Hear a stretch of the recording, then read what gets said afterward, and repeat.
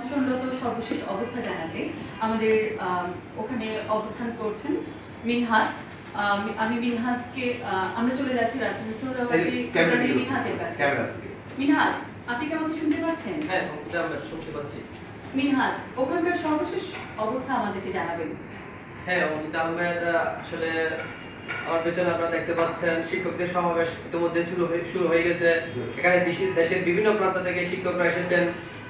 তারা বলতেছেন যতক্ষণ পর্যন্ত এমপিও মুক্তি হবে না ততক্ষণ পর্যন্ত তারা এই মাঠ ছেড়ে যাবে না। আমরা কিছুক্ষণ আগে আরও দেখেছি এখানে আমাদের মাননীয় শিক্ষামন্ত্রী ডক্টর দীপুমণি এসেছিলেন। ওনাদেরকে মাননীয় প্রধানমন্ত্রীর বার্তা নিয়ে।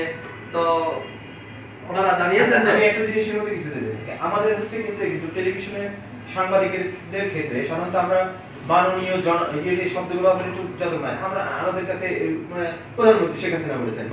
প্রধানমন্ত্রীর ক্ষেত্রে মাননীয় রাষ্ট্রপতি বা মাননীয় প্রধান বলতে পারি কিন্তু শিক্ষামন্ত্রী মাননীয় বলতে হয় না শিক্ষামন্ত্রী ডক্টর নুরুল ইসলাম উনি ঘটনা আসছিলেন। উনি এই আশ্বাস দিয়ে গেছেন এগুলো ডাইরেক্ট বলে দেবেন। এটা সাংবাদিক you have the power to say thing মানে এটা আপনি বলতে পারেন। বাট সম্মান করতে হবে। তার যে আপনি যে ডেজিগনেশন করতে না।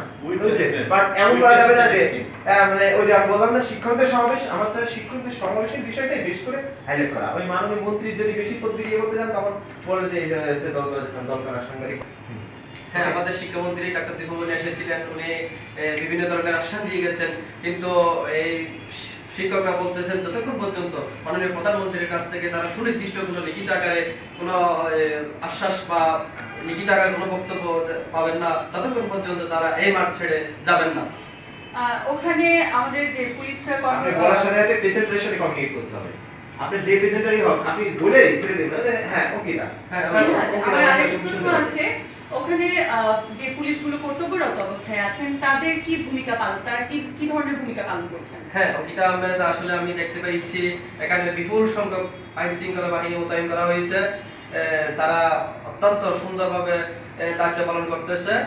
এখনও পর্যন্ত কোনো ধরনের বিশৃঙ্খলা বিশৃঙ্খলা এখানে ঘটেনি বলে Dhaka metropolitan police commissioner Asaduzzaman ভাই আমাদেরকে জানি- জানিয়েছেন।